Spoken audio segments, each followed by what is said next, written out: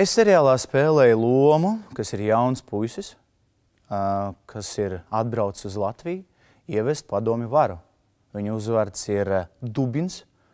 Viņš ir ļoti, ļoti atbildīgs un uzticams karavīrs savai tautai.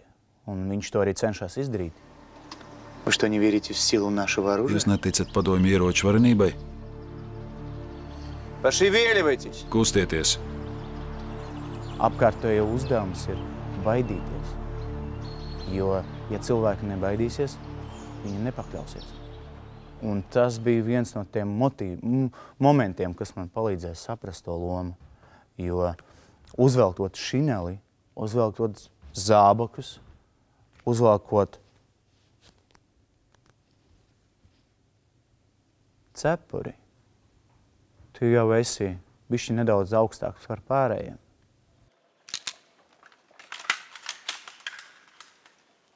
При обнаружении противника стрелять на поражение!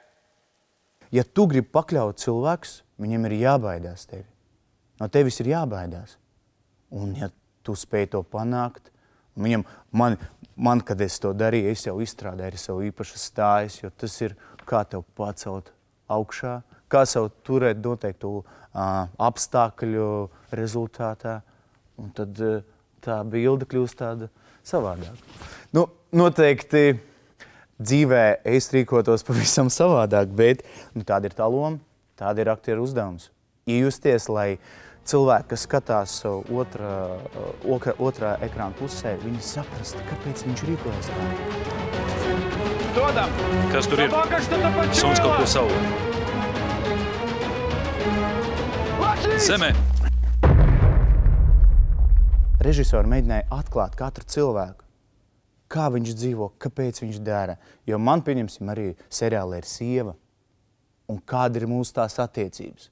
Kā viņš pret viņu attiecās? Manam tēlam tā lielākā vieta un tādas eh, iespējas, eh, kā teikt, izpausties bija mežs. Līdz ar to man nācās eh, teikt, gan ar ekipējumu cīnīties, jo filmējam mēs jau tādos karstos apstākļos, man ir šinels. A, Kā panākt to sajūtu, kad apkārt var būt eh, šie te uh, meža brāļi? Un eh, kas ir tas skatiens, kā tu vēro mežā? Un eh, no aktieru puses tas ir ļoti sarežģīti. Ja liekas, nu, parasts mežs, kā jau jebkurš mēs ejam sēņot, bet šeit ir apstākļi savādāk, kurā aiz katru koku var būt kāds ā, meža brālis, kurš te var nogalināt. Vai arī otrādi, viņš slēpjas no tevis, jo tu esi viņam biedrs. Interesanti pieredze man bija pirmoreiz šaut, un ā, šaut uz cilvēku ar uzlādētu pistoli, kur man bija pašam jāpielādē un, un jāstāv aizmugurē cilvēkam. Tas ir, es negribētu dzīvē nokļūt tādā situācijā.